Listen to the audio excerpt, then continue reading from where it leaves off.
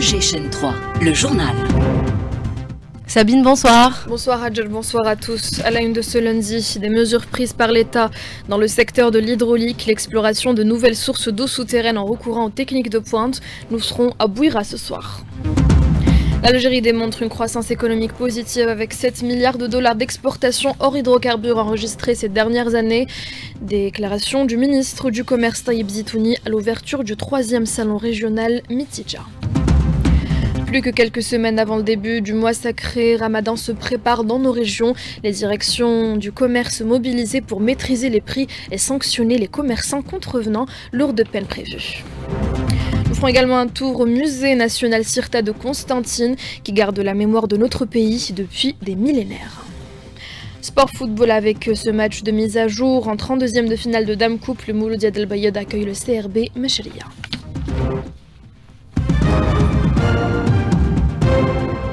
Madame, Monsieur, bienvenue dans l'actualité. Ces nouvelles mesures prises par l'État lors du dernier Conseil des ministres. Le président de la République a ordonné d'entamer des opérations de forage de puits et de prospection des eaux souterraines en recourant aux techniques de pointe à Béchar, mais aussi à Bouira, Zbarbar plus précisément, une première dans cette région. Cette opération vise à rendre les eaux souterraines exploitables d'ici l'été prochain. Le détail avec Aris Chachoua.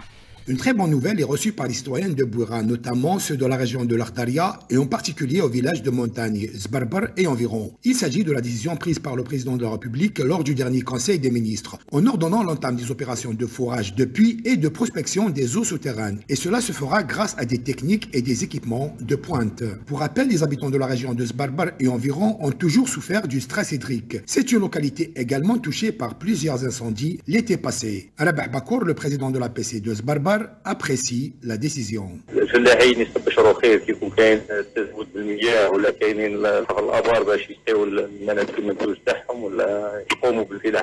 Les habitants, après une longue attente, ni au potable ni aux irrigations, enfin, ils s'en réjouissent.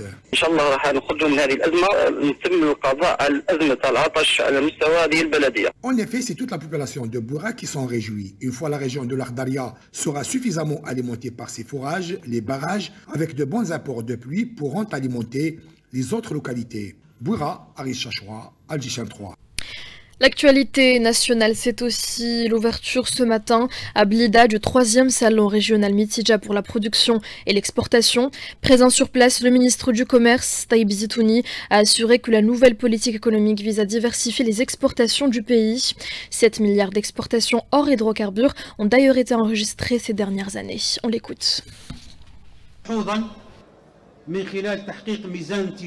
La balance des paiements de l'Algérie connaît des excédents et une nette amélioration. Les exportations hors hydrocarbures sont passées à 7 milliards en l'espace de quelques années et des résultats que peu de pays du monde ont pu réaliser en ce temps. C'est le résultat des réformes économiques profondes et courageuses menées par le président de la République. L'ouverture de ce salon régional est une occasion pour traduire sur le terrain cette approche en organisant des rencontres avec les opérateurs économiques et l'ensemble des acteurs.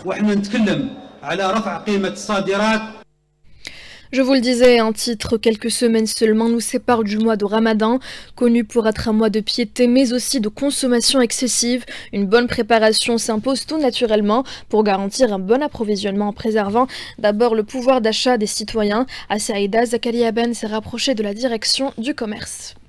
En prévision du mois de Ramadan, la direction du commerce de la de Saïda, avec ses brigades de contrôle et de suivi, a pris toutes les dispositions nécessaires en vue de garantir un bon fonctionnement de l'activité commerciale durant le mois sacré. Le point avec la directrice du commerce, Amir Aïd. Les services de la direction du commerce de la wilaya de Saïda ont pris beaucoup de mesures pour garantir le passage de Ramadan dans les bonnes conditions et cela fait partie de nos missions. Le personnel du contrôle est mobilisé durant le mois sacré on a consacré 24 brigades spécialisées dans le contrôle de la qualité et 18 brigades spécialisées dans les pratiques commerciales pour lutter contre toute pratique illicite et tout ce qui touche la santé et l'intérêt du consommateur. Concernant le côté d'approvisionnement, nos services veillent spécialement sur la disponibilité des produits de large consommation tels que le lait subventionné, l'huile de table, la semoule, la farine, les légumes secs et le riz. En outre, cinq marchés de proximité seront mis sur pied avant le mois sacré qui seront supervisés par les services de la direction du commerce de la wilaya de Saïda.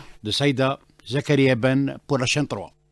Par ailleurs, les directions du commerce sont intransigeantes avec les tentatives de fraude. Les contrôleurs sont sur le qui-vive à quelques semaines du mois sacré de Ramadan. Entre spéculation et défaut de facturation, plus de 3000 interventions sur le terrain à Djidjel. Abdelhamid Zouet.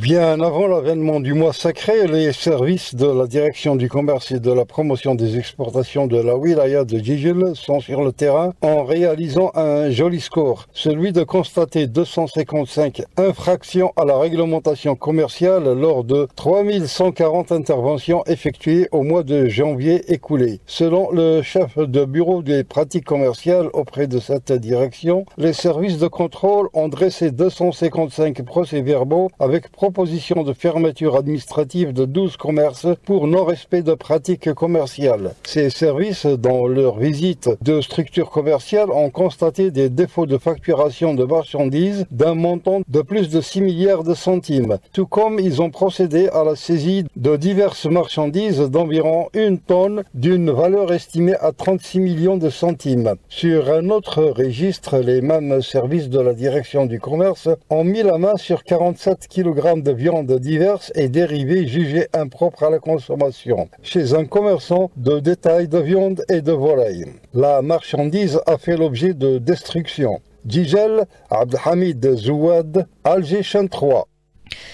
Toujours à propos des préparatifs du mois sacré de Ramadan, à Sidi Abbas, quatre marchés de proximité à Rahma ont été aménagés. Ils seront régulièrement approvisionnés à des prix à la portée des citoyens à revenus modestes. Les détails avec Inès Mohamed. Dans le but de garantir et d'une manière régulière les produits alimentaires de large consommation durant le mois sacré de Ramadan, la direction du commerce de Sidi Abbas a décidé l'ouverture de quatre marchés de proximité à Rahma à travers la wilaya où il est prévu la participation d'environ 50 opérateurs économiques. Mahmoudi Hajira, directrice du commerce. Nous avons attribué quatre marchés de proximité, dont un est implanté au chef-lieu de Wilaya. Il sera le marché principal, qui connaîtra la participation de la majorité des producteurs à travers la Wilaya, car on lui a attribué un endroit stratégique, celui de Asil. Aussi un marché au niveau de la Daïra de Bni Badis, un autre à Tler et Sfisef. On a environ 50 opérateurs économiques qui vont y participer avec euh, différents produits alimentaires, dont fruits et légumes, viande rouge et blanche et autres produits alimentaires. Durant ce mois sacré, la directrice a révélé que 11 points de vente de viande rouge importée sont déjà ouverts à travers la wilaya. De Sidi Blabès, Inès Mohamed pour Alger 3. Direction Galma, à présent le secteur de la santé a été renforcé cette semaine par une nouvelle infrastructure une nouvelle structure sanitaire visant à alléger la pression sur les établissements hospitaliers, les autres établissements hospitaliers de la région de Guelma, tout en prenant en charge les citoyens des zones enclavées. Les détails avec Zoher Douara. Une nouvelle polyclinique implantée à la commune de Khzara a été mise en service au début de cette semaine par Louali Houri Agoun, le directeur de l'établissement public de santé de proximité, Walid Salamani. Une polyclinique qui fonctionne 7 sur 7 et en H24 avec un pavillon des urgences, un laboratoire, la radiologie et une unité de protection maternelle et infantile vient de renforcer le patrimoine de l'EPSP de Guelma et qui va assurer une bonne prise en charge des communes Khzara, et une partie de la commune de Boumhara Ahmed. Des consultations spécialisées sont également prévues. Programme de consultation spécialisée a été introduit à la nouvelle polyclinique une fois par semaine pour chaque médecin. Donc on a spécialité le pédiatre, l'infectiologue et trois spécialités euh, dentaires. À rappeler que le nombre global des polycliniques dont dispose le PSP de Galma est estimé à 11, couvrant 14 communes de la wilaya de Galma Zoher Douaha, Alger 3. On reste à l'est du pays, à la découverte du musée national Cirta de Constantine, qui garde bien précieusement la mémoire de l'Algérie depuis la préhistoire. Immersion avec Hayat Karboua.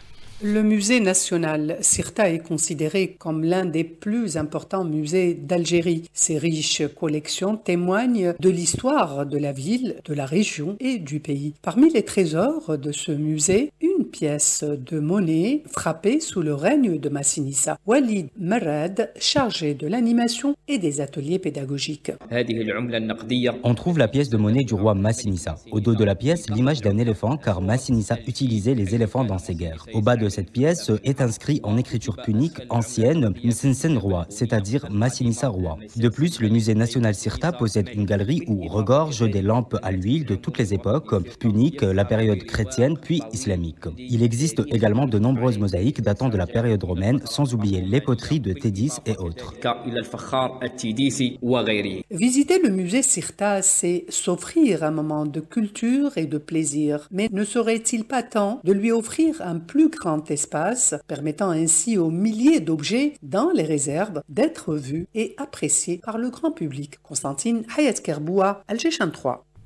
On passe au sport football. Le SC Meshria s'est qualifié cet après-midi pour les 16e de finale de la Coupe d'Algérie en battant le Mouloudia d'Al-Bayed au tir au but 5 à 3. Meshria affrontera en 16e de finale l'Olympique d'Arbou.